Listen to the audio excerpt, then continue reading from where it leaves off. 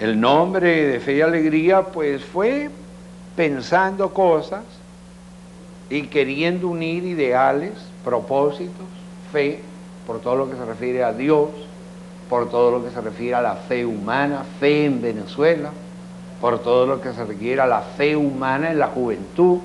fe en que esa juventud que educábamos iba a ser gente capaz, valiosa, con futuro,